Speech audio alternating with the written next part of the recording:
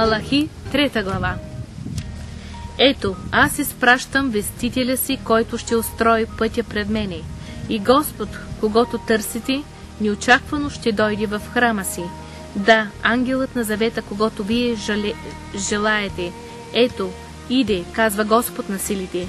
Но кой може да издържи деня на пришествието му? И кой ще устои, когато той се яви? Защото е като огъня на пречиствач и като сапуна на типавичари. Ще седни като един, който топи и пречиства сребро и ще очисти синовете Ливиеви и ще ги притопи като злато и сребро, за да принасят на Господа приноси с правда. Тогава приносът на Юда и на Ерусалим ще бъде угоден на Господа, както в древните дни, както в старите години. И аз, като се приближа при вас за съд, бързо ще заявя против баячите, против прелюбодейците, против кълнящите се лъжливо, против онези, които огнитяват наемниците за заплатите им, вдовицата и сирачето, и против онези, които огниправдават чужденеца и не се боят от мене, казва Господ на силите. Защото аз, Господ, не се променям. Затова вие, Якови чеда, не загинахте. От дните на бащите си вие се отклонихте от наредбите ми и не ги спазвате.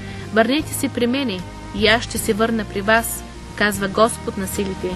Но вие казвате, как да се върнем? Ще краде ли човек Бога? Вие обаче ме крадете. Но вие питате, как ти крадем? В десятъците и в приносите. Вие сте наистина проклети, защото вие, да, целият този народ ме крадете. Донесете всички десятъци в хранилището, за да има храна в дома ми. И опитайте ми сега в това, казва Господ на силите, дали не ще ви разкрия небесните отвори, за да излея благословение върху вас, тъй, че да не стигне място за него. И заради вас ще смъмре поглъщателя и няма вече да поврежда рожбите на земята ви. И лозата ви на полето няма да хвърля плода си преждевременно, казва Господ на силите. Всички народи ще ви облажават, защото ще бъдете желана земя, казва Господ на силите. Вашите думи са били безочливи против мене, казва Господ. А вие казвате, какво сме говорили против тебе? Вие казахте, напразно служим на Бога.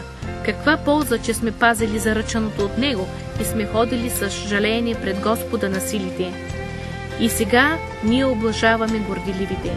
Да, злосторниците наистина успяват. Даже тези, които изкушават Бога, се избавят. Тогава боящите се от Господа говориха един на друг и Господ внимаваше и слушаше и написа се възпоменателна книга пред него за онези, които се бояха от Господа и които мислиха за името му. Те ще бъдат мои, казва Господ на силите.